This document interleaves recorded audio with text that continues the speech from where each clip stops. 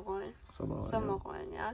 Das Problem ist, dass die uns, ich weiß nicht, ob man das sehen kann, durch die Schublade einmal alle in der Mitte getrennt wurden. Das heißt, es gibt Mini-Sommerrollen. Normalerweise sind die ja echt groß. Dazu gibt es Soja, äh, Senf, Tahini-Soße. Und Konrad macht jetzt den Taste-Test.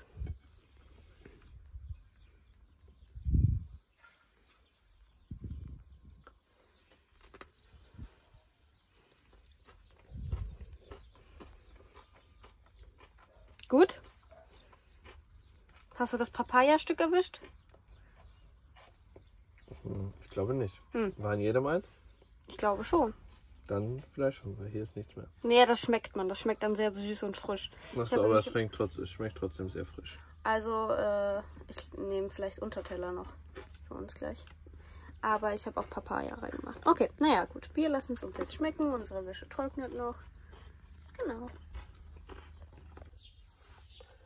So, da wir heute nicht so viel gemacht haben und Martha auch ein bisschen platt ist, ruhte ich gerade ein bisschen aus. Wir haben gerade noch ein bisschen gegessen.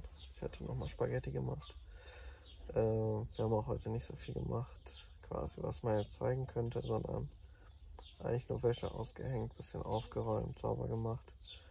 Ähm, ich hatte vor ein paar Tagen ein Workout abgefilmt, was dann perfekt genau für so eine Situation sein sollte. Ähm, ja, das schneide ich euch gleich hier rein. Und ähm, ja, dann nehme ich euch ein bisschen mit in mein Workout, wo ich auch ein bisschen erkläre, wofür welche Übung ist.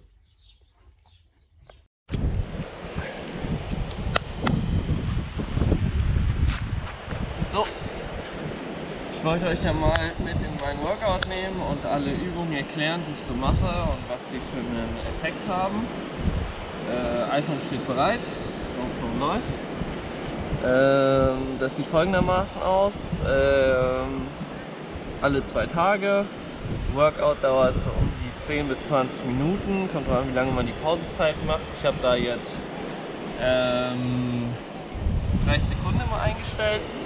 Und es ist ein äh, Workout für die Kräftigung des Oberkörpers, was die Muskulatur nicht nur von Brust, Schultern und Rücken stärkt, sondern auch Arme, Bauch,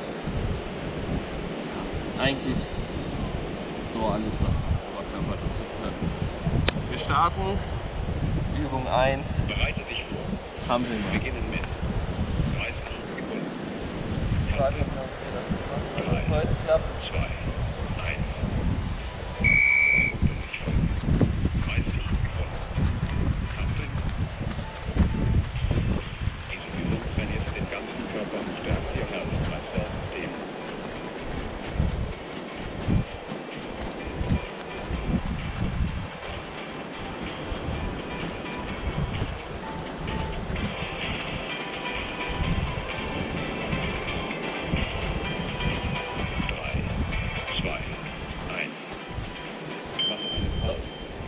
nicht so geil, weil es hier so uneben ist. Aber es sollte klappen. Genau, nächste Übung Liegestütze, Brust, Trizeps. Ähm, ja, aber erstmal kurz Pause. Ich hab Durst, ich krieg schnell was. Und dann geht es direkt weiter.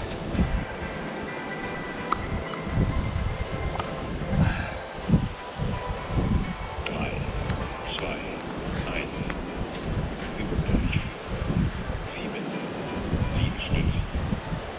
Hier darauf achten, Bauch anspannen. Gerader Rücken.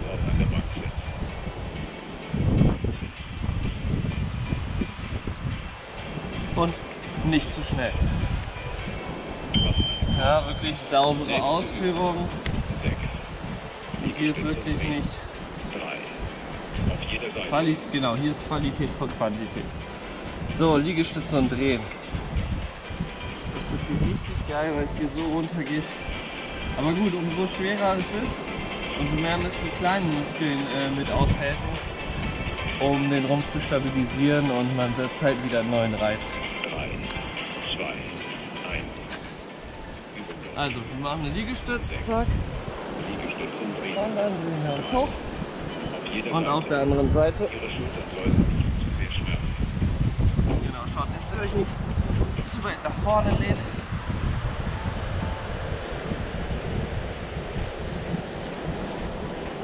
Und so ungefähr im 45 Grad Winkel mit dem Arm zum Oberkörper. Jetzt habe ich vergessen beim Reden. Auf welcher Seite ich war. Ich glaube, das passt. Und fertig.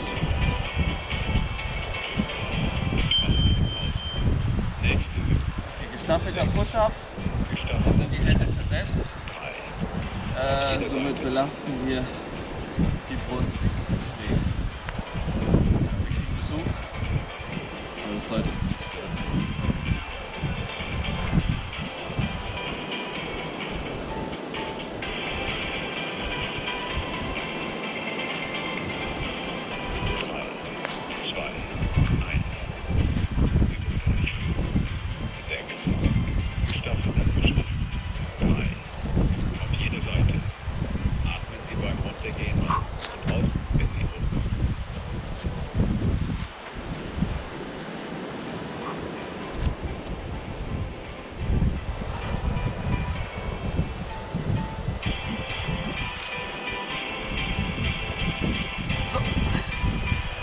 wieder darauf achten, Bauch anspannen, Pause. Körper gerade lassen. Sehr gut, Berg- Bergauf Push-Up. Stellen Sie einen Stuhl Können wir jetzt hier gut machen, weil wir hier den Incline haben. Da geht es darum, dass der Körper in einer Ebene ist. Beim normalen Push-Up ist der Körper ja eher so. Und jetzt wir den Körper so. Äh, Somit gehen wir dann mehr auf die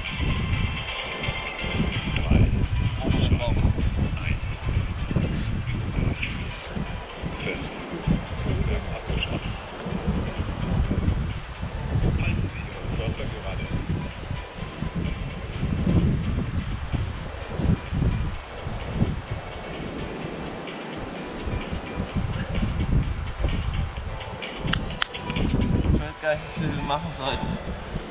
Fünf? Ja, okay. Sechs oder sieben. Nächste Übung. Vier. Diamant-Push-Up, ganz enger Push-Up, geht mehr auf den Trizeps. Davon vier Stück. Spannend.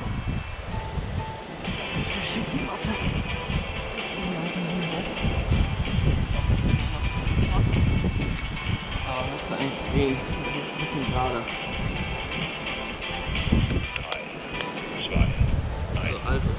Dreieck, ne? Vier. Eng am Körper runter.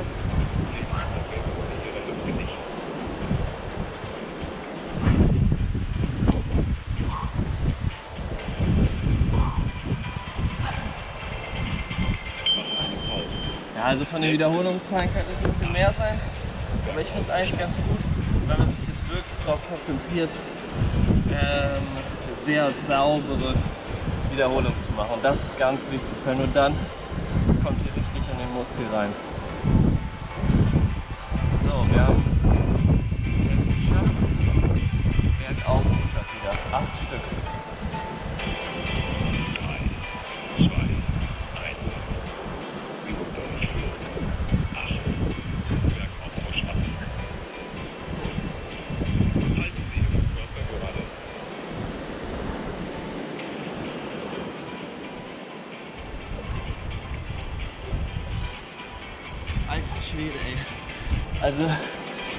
der Sonne Übung. super anstrengend, weil ich auch so schlau war, um mir schwarze Sachen anzuziehen.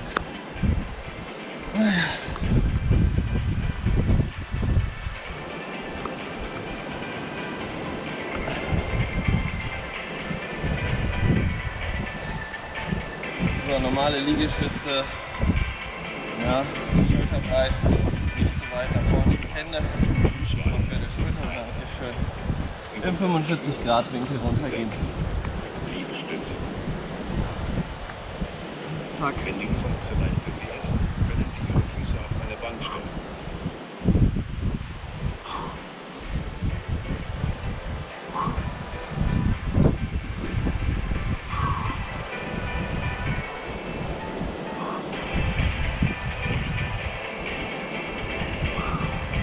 Ja, ganz sauber und langsam dann erzielt ihr den besten Effekt.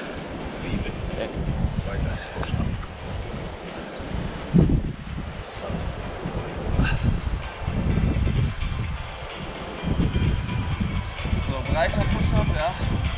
Hier außen von der Brust. Geht auch näher dann auf die vordere Schulter. Und hier kann man dann auch wirklich ruhig fast 90 Grad runtergehen.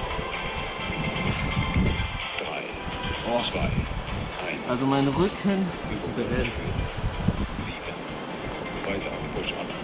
wirklich jetzt ganz breit. Atmen Sie beim Runtergehen ein. Wie viele? Wenn Sie hochkommen. Ich sehe es nicht. Sieben, glaube ich.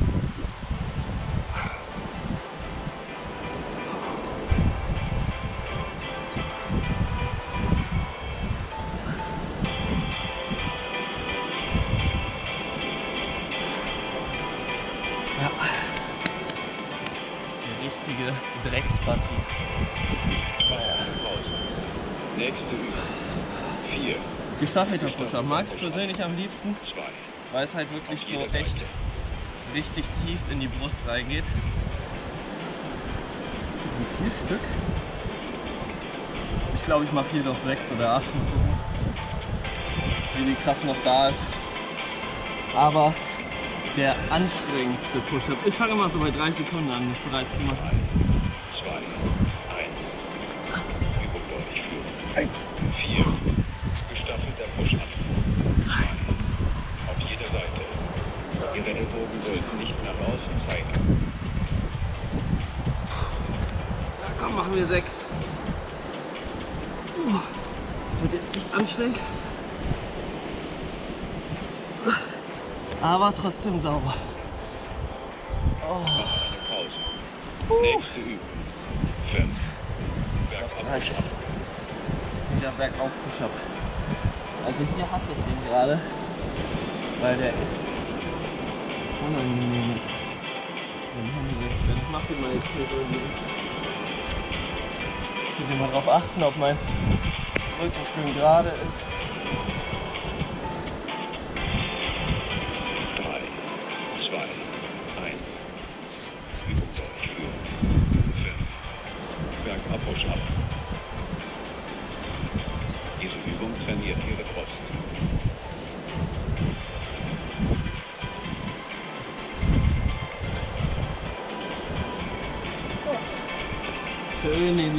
Von ganz tief rausdrücken, dann aktiviert ihr auch wirklich jede Muskelzelle.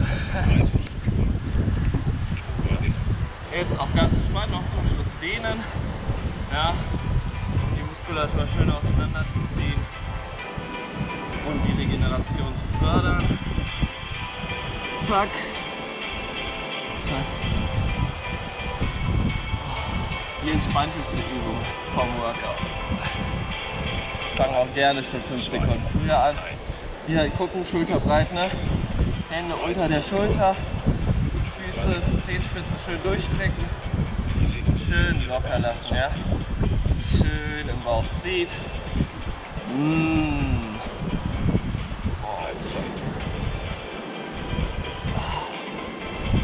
Den 5 Sekunden hätte ich mir vorher überlegen sollen.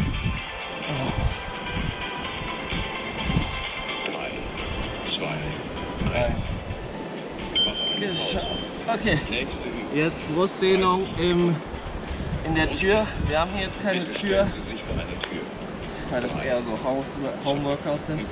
Könnt ihr einfach die Hände nach 30 hinten drücken und dann schön ziehen. Dann dehnt ihr auch die Brust. Ihr Kopf soll nicht nach vorne kommen. So. Oh.